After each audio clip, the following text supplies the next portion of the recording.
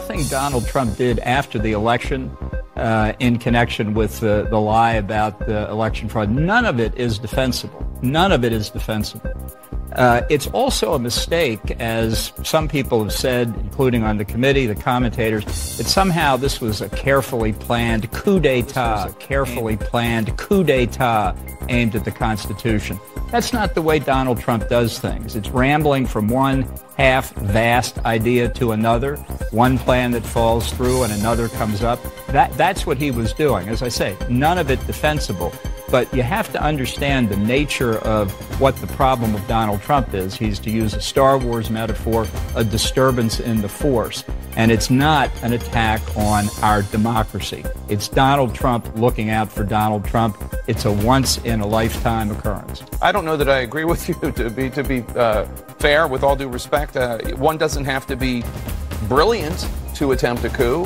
Uh, I disagree with that. As somebody who has helped plan coup d'état, yeah. not here, but you know other places, uh, it takes a lot of work, and that's not what he did. It was just stumbling around from one idea to another. Ultimately, he did unleash the rioters at the Capitol. As to that, there's no doubt. But not overthrow the Constitution, to buy more time to throw the matter back to the states to try and redo the issue. And if you don't believe that, you're going to overreact. And I think that's a real risk for the committee, which has done a lot of good work, mostly when the witnesses testify, not when the members are opining.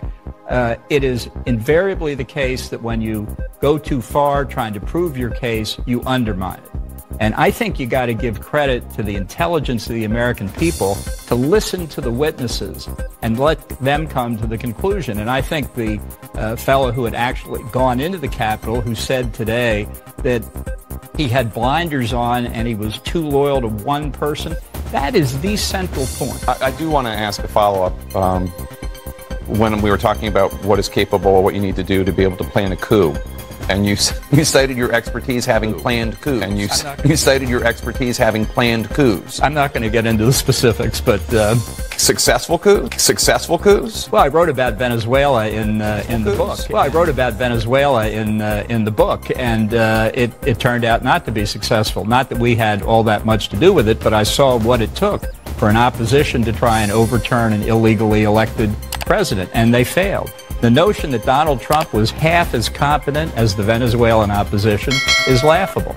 But I think there's another. I feel like you're, there's other stuff you're not telling me, though. I think I'm sure there is.